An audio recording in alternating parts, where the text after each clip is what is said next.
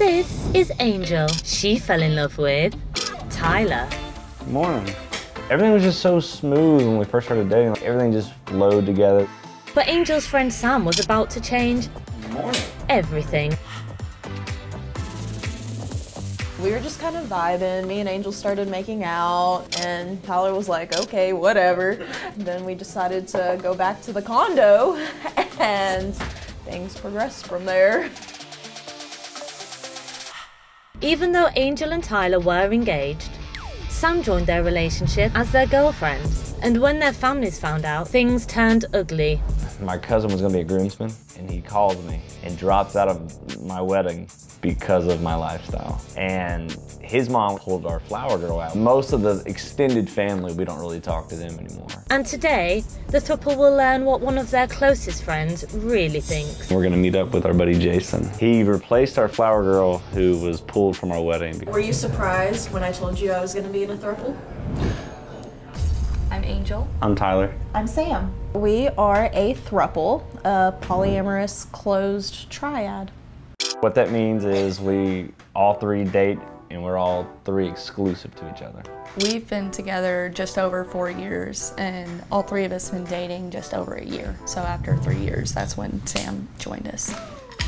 So Tyler and I actually had matched on Tinder, and then about two years later, he had swiped on my Snapchat story and said, "Oh my gosh, you're so cute" or something like that. What's up? pretty much sliding in my DMs, and we kind of just reconnected, and then pretty much been together ever since. Everything was just so smooth when we first started dating. Like it just seemed like everything just flowed together. We didn't really have issues. We didn't have problems. How did you meet these two? Me and Angel, we met in college. She, she was actually my first girl kiss, so that was pretty interesting. And I never expected us to be where we are today. So we went to a music festival in 2019 and we were just kind of vibing. Me and Angel started making out. And Tyler was like, okay, whatever. Then we decided to go back to the condo and things progressed from there.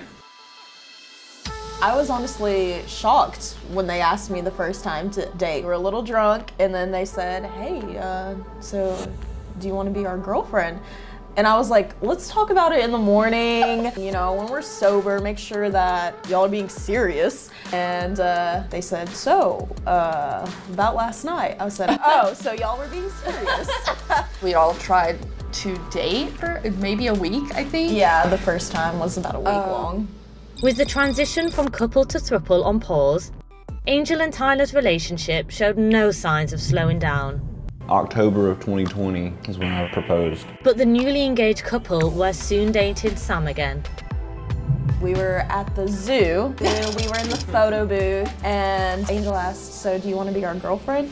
And once we uh, got out of the photo booth, I said, "Well, my answer is yes, by the way. You know, just in case you didn't know." And now that she was officially their girlfriend, Sam moved in with Angel and Tyler. this is our bedroom. We do all sleep in this bed. Uh, we need a bigger bed. And it wasn't just lack of space that caused friction as the couple adjusted to new dynamics. At first, I was getting jealous seeing Tyler and Sam together because I was selfishly only thinking about my needs, only me and Tyler, only me and Sam. So it was very difficult for me to see them together. At first, it was a lot of work. With three people, that was probably our biggest thing was learning how to communicate. Are there rules in your relationship? I don't really like that term. I don't like rules, just some safeguards, I suppose. Whenever it's bedroom time, we kind of put the question out there for anyone. I'm in or am I out? I'm out, like. And so, Hey, you down? Cool. so Me too. whoever wants to goes in the bedroom, and then the other person like comes out here and like cleans or like watches TV or does something else. Like it's it's super open. Having worked through their initial obstacles, the throuple began posting about their relationship on TikTok and soon built up a following. But there was still an elephant in the room. How my family found out was through our TikTok channel. My aunt is actually the one who saw it first and sent it to my mom. And she told my mom that I was chewing and that I was in a relationship. And I said, Well, good news, mom, I don't do and I'm not in a relationship. But yes, I do have a boyfriend and a girlfriend. And my parents are pretty ex- accepting of it. And whilst Angel's family were much more relaxed, Mine found out from TikTok or Instagram, one of the two, but they were very accepting. the most dramatic reaction came from Tyler's family. A week before the wedding, my cousin was gonna be a groomsman, and he calls me and drops out of my wedding because of my lifestyle. And his mom was pulled our flower girl out, which is her daughter. My mom doesn't care. She's super supportive. My dad found out and he's like, I don't care what you do. You're a grown man. You're doing your own thing. But most of the extended family, we don't really talk to them anymore. As far as conflict online, like haters and stuff, we just laugh. Like, it's so funny. Some like kind of negative comments that we get are I can't wait for the breakup video. This never works. Oh, I can never do this. It's called a couple for a reason. Well, we're a throuple, not a couple. And although the throuple's friends have mostly stuck by them, there are still things that have been left unsaid. We're gonna meet up with our buddy Jason. He replaced our flower girl who was pulled from our wedding because of our lifestyle. So, in the aftermath of the wedding, will Jason turn out to be the supporter that they think he is? So, were you surprised when I told you I was gonna be in a throuple? A little bit. I was more like uh, the man in that relationship gonna love it because two women, like, he's lucky. That's stereotypical. I'm ashamed of you. I'm just saying, as a man, I mean, two women. I mean, who who wouldn't think that?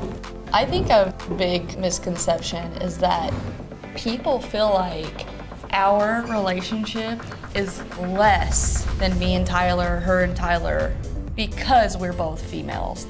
A lot of people are so closed-minded they don't see a, a bigger picture of a relationship. One man, one woman, and anything else, it's not comfortable with them. Do you think your family will ever come around? No. Accept that? no.